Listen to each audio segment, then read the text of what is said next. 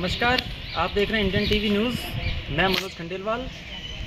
हम आज मंडावर में जो है मतदान केंद्र संख्या 55 पर मौजूद हैं। लोकसभा इलेक्शन 2024 के दौरान जो इलेक्शन हो रहे हैं और आप देख रहे हैं कि नज़ारा धूप की वजह से, गर्मी की वजह से बिल्कुल नील वोटिंग चल रही है और अभी तक 25 परसेंट करीब इक्कीस तेईस परसेंट के समथिंग वोटिंग हुई है। और डेढ़ बजे का टाइम हो चुका है और इस दौरान देखिए कुछ महिलाएँ हैं हमारे साथ जो वोट डालने आई हुई हैं और इन्होंने वोट डाल दिया है। तो हम इनसे बात करेंगे कि इनको वोट डालकर कैसा लगा? अच्छा लगा। आपका नाम? ममता गुप्ता। ममता जी हमारे साथ हैं तो आपने ये वोट दिया है। आपको कैसा महसूस हो रहा है? और लोकतंत्र में आपने जो भागीदारी निभाई है उसके लिए क्या संदेश देना चाहेंगे हमारे चैनल के माध्यम से? शायद अच्छा है। आप कुछ कहना चाहेंगे?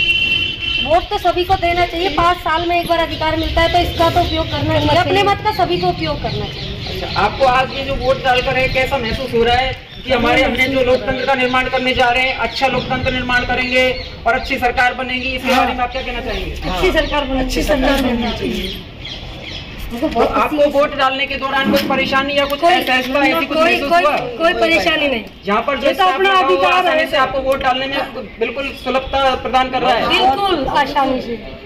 इनका कहना है कि इन्होंने अच्छे वोट वोटिंग करके अच्छे लोकतंत्र निर्माण में भागीदारी निभाई है। और इसी के साथ मैं Manoj Khandelwal Indian TV news के साथ आपका धन्यवाद। सर जी हम अभी इंडियन टीवी के साथ यहाँ बूथ संख्या 50 पर मौजूद हैं जो कि हमारे मंडावर क्षेत्र के बीच का बास। थोड़ी का बास। में मौजूद है और प्राथमिक स्कूल है। यहाँ बूथ संख्या 50 पर कार्यरत मतदान प्रणाली जारी है। तो इसी दौरान हमारे साथ जुड़े हुए हैं बीएलओ साहब। आपका नाम? हाँ, सर मेरा नाम खेम सिंह है। खेम सिंह जी नमस्कार। हमारे चैनल के माध्यम से आपको अपार शुभकामनाएँ। और हम जानना चाहेंगे कि जो यहाँ मतदान हो रहा है वो अभी तक कितने प्रतिशत हो चुका है? आ, सर सारे गाँव के लोग थोड़े से शादी ब्याह का प्रोग्राम चल रहा है। इस हिसाब से थोड़े लगातार आ रहे हैं लेकिन थोड़े उस वजह से चुनाव में अड़चने ज़रूर आ रही है। इस हिसाब से अपने पास बयालीस परसेंट मतदान अब तक आंकड़ा हो चुका है। तो ये शादी विवाह के कारण थोड़ी सी परेशानी आ रही है आपका कहने का अर्थ ये है। तो शाम तक जो संभावनाएँ हैं चुनाव की ये कितने प्रतिशत तक आप पहुँचा सकेंगे इनको? कितनी संभावनाएँ हैं? सर ये एग्जैक्ट तो कोई बता नहीं सकता लेकिन आइडिया लगाया जा रहा है कि जैसे जैसे मौसम ढलेगा धूप भी ज़्यादा ही कम होगी तो मतदाता निकल के आएँगे। और जो ही मतदाता निकल के आएँगे तो ये साठ से पैंसठ परसेंट के आसपास मतदान होना संभावित लगा है। अभी के हिसाब से। बीएलओ साहब का कहना है कि शाम तक जैसे जैसे धूप घटेगी समय के साथ साथ छह बजे तक मतदान जो होना है उसमें साठ से पैंसठ प्रतिशत तक होने की संभावना है और ज़्यादा भी हो सकता है। और इसी दौरान हमारे साथ यहाँ जो बूथ एजेंट हैं, भाई दिनेश जी नारेडा, इनसे जानना चाहेंगे कि यहाँ मतदान का प्रतिशत किस तरीके का रहा है और अभी तक जो मतदान रहा है वो शांतिपूर्वक रहा है और आगे क्या संभावना है? हमारे यहाँ लगभग शांति से मतदान हो रहा है और दोनों पार्टियों के बराबर मतदान है और बहुत ही शांति से हो रहा है। और 40 परसेंट के समतल करीब वोटिंग हो चुकी है और शायद भगवान से उम्मीद है साठ या पैंसठ पे हमारे बीच तो इतनी मतदान हो जाएगा और बड़ा शांति से हो रहा है। किसी प्रकार का कोई विरोध नहीं है। बहुत अच्छा लगा। बहुत ही अच्छी शांति से चुनाव किया जा रहा है करवाया जा रहा है। बहुत अच्छा इतना ही कहना चाहता हूँ। जैसा कि मैं सभी जगह जाके आया हूँ तो शादी विवाह और इस दौरान यह धूप चिलचिलाती हुई यह मतदान प्रणाली में बहुत बड़ी बाधा बनी हुई है। तो इसके दौरान ही हमारे साथ जुड़ी हुई हैं पूर्व सरपंच कुसुम लता जी तो आप इस इसके बारे में हमारे चैनल के माध्यम से लोगों को क्या संदेश देना चाहेंगे? जो मतदान के दौरान धूप और शादी विवाह को लेकर मतदान का प्रतिशत जो धीमा रहा है वो आगे जाकर कैसा रहेगा? इस बारे में आपके क्या विचार है? देखो शादी में जो यहाँ से शादियों में जा चुके हैं हो सकता है वो लोग आके वोट करें या फिर जिनको जागरूक लोग हैं वो तो आके वोट करेंगे। और बाकी नहीं है वो तो। इसकी तो देखो परसेंटेज तो कम जाएगी वोटिंग के तौर पे। इतने वोट हो नहीं पाएँगे जितने होने चाहिए थे। अगर ये शादी का माहौल नहीं रहता तो शायद वोट हो जाता। सभी जगह में हम, हमारी टीम जहाँ जाके आई और हमने जहाँ जहाँ कवरेज किया, सभी जगह यह बात देखने में आई है कि लोकसभा चुनाव है, जो कि एक बहुत बड़ा इलेक्शन होता है और क्षेत्र का एक जो नेता चुना जाता है, वो बड़े स्तर पर चुना जाता है। इस दर, इसी के कारण इसका जो रुझान है लोगों के प्रति, ग्रामीण क्षेत्र में वो कम रहता है। ऐसा आपका मान जनता का मानना है तो आप इस बारे में क्या कहना चाहेंगे? देखो बड़े इलेक्शनों के जैसे आम लोग, जनता जो होती है, इसमें बढ़ चढ़ कर भाग वो लेते हैं जो सक्रिय लोग रहते हैं। आम लोग नागरिक जो है, क्षेत्र में रहने वाले, उन्हें इन चीज़ों से इतना प्रभाव नहीं डालती है।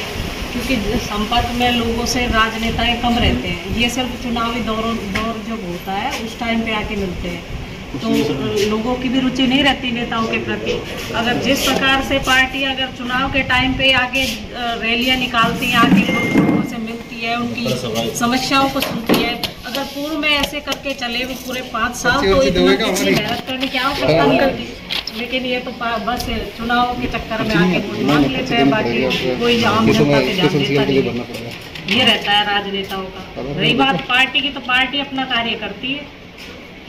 वो तो जनता तक पहुँचाने का कार्य तो राजनेताओं का है ना।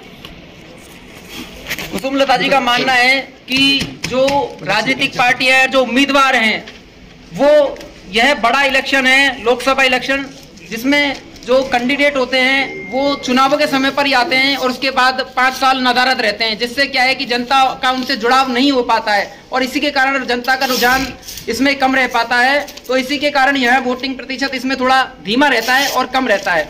इसी दौरान हमारे साथ सतीश जी सैनी जो आप आपका नाम? योगेश मेहरा। आप क्या काम करते हैं? Engineer rural senior section engineer हैं, देखिए कितनी बड़ा एक उमंग और उत्साह के साथ ये अपनी ड्यूटी छोड़कर यहाँ चुनाव में मतदान करने आए हैं। मैं बहुत बहुत इनका आभार जताना चाहूँगा और आप हमारे चैनल के माध्यम से लोगों को क्या संदेश देना चाहेंगे? लोकतंत्र के इस महापर्व में अधिक से अधिक संख्या में भाग लेना चाहिए। देश के आने वाले, हमारे आने वाले कल के भविष्य को बेहतर बनाने के लिए अधिक से अधिक लोगों को जागरूक होकर मतदान करना चाहिए। देश की वो बात अलग है कि देश की जो आधी से ज़्यादा जनसंख्या है, वो मतदान को ऐसा फॉर्मेलिटी रूप में लेती है वो एक बहुत ही विचारणीय विषय है। इस पर इलेक्शन कमीशन को भी जागरूकता जो है ना इलेक्शन कमीशन भी क्या है चुनाव के वक्त ही जागता है बाकी टाइम पर सोया रहता है उसको भी समय समय पर जागरूकता लानी चाहिए। धन्यवाद आपका। हम उनचास संख्या बूथ उनचास पर मौजूद है मंडावर के बूथ संख्या उनचास पर और हमारे साथ सीआरपीएफ के जवान जो चुनावी ड्यूटी में यहाँ आए हुए हैं आपका नाम? मेरा नाम A S I G D Ram Vilas Verma. Shri Ram Vilas ji Verma हैं। आप कहाँ से आए हैं सर? मैं सोनीपत दिल्ली से। सोनीपत दिल्ली से आए हैं चुनाव ड्यूटी में। तो आप ये जो चुनाव ड्यूटी में आप यहाँ पर लगे हुए हैं आपको कैसा अनुभव रहा और मतदान का क्या रुझान रहा? क्या बताना चाहेंगे आप हमारे दर्शकों को?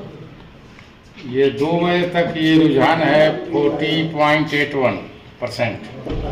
यहाँ के लोग बहुत अच्छे हैं। यहाँ मतदान बिल्कुल शांतिपूर्वक चल रहा है और यहाँ के लोग अच्छे हैं कोई दिक्कत नहीं है। तो अभी तक का जो मतदान रहा वो शांतिपूर्वक रहा और आगे भी आपको उम्मीद है कि शांतिपूर्वक तरीके से आप संपन्न कराएँगे? हाँ हम शांतिपूर्वक संपन्न करा लेंगे इस मतदान जय हिंद। इसी दौरान हम आपका नाम? विशंबर पाटिल। विशंबर पाटिल जी हैं। आप भी सीआरपीएफ से ही? हैं हाँ। सर सीआरपीएफ से ही? है आप कहाँ कहाँ से आए हैं? सोनीपत जी से सोनीपत जी हरियाणा से आए हुए हैं और ये भी चुनाव ड्यूटी में आए हुए हैं। तो आप इस चुनाव में जो आपने ड्यूटी दी है लोकतंत्र के इस महापर्व में और यहाँ मंडावर क्षेत्र में आप उनचास संख्या बूथ पर आए हुए हैं तो आपको कैसा अनुभव रहा आपका?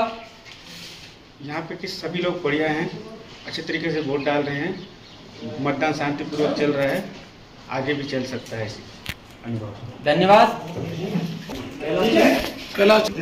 हमारे साथ यहाँ बूथ संख्या उनचास पर लगे हुए पीओ फ़र्स्ट कैलाश चंद जी मीना हैं और ये हम इनसे जानना चाहेंगे कि इस बूथ संख्या पर अभी तक कितने प्रतिशत मतदान हुआ है और किस तरीके का मतदान रहा है, शांतिपूर्वक तरीके का रहा है, किसी तरीके की कोई मतदान में कोई जो है गतिविधि संदिग्ध गतिविधि तो नहीं रही तो वो जानकारी देंगे हमें।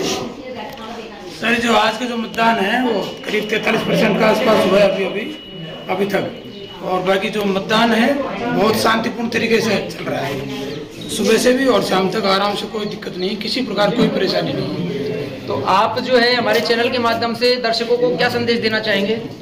मैं ये संदेश देना चाहूँगा कि ये एक तरह से महाकुंभ है और बहुत बड़ा पर्व है देश का। तो मैं तो ये करना चाहूँगा कि जो भी मतलब जो मतदाता है, वो करीब करीब सब आए और अपने मताधिकार का प्रयोग करें, जिससे कि मतलब अपने जो भी सरकार जो बनती है, जो भी इनके उससे तो एक बहुत बड़ा प्रजातंत्र है, बहुत बड़ा पावर होता है प्रजातंत्र का। इनका मानना है कि इस लोकतंत्र के महापर्व में हम अच्छे से भागीदारी निभाएँ, अधिक से अधिक बढ़ चढ़ कर मतदान करें और एक अच्छे लोकतंत्र का निर्माण करें। तो इसी के साथ मैं आपका धन्यवाद देना चाहूँगा चैनल के माध्यम से। बहुत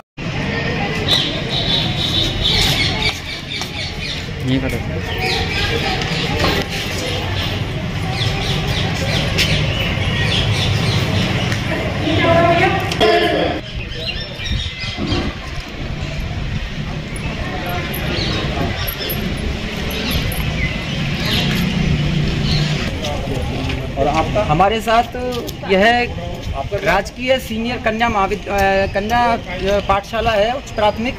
इसमें आए हुए हैं यहाँ पर उच्च माध्यमिक पाठशाला और इसमें चौवन और पचपन महुआ विधानसभा के चौवन और पचपन नंबर का बूथ केंद्र है और यहाँ पर हमारे साथ जो बी हैं।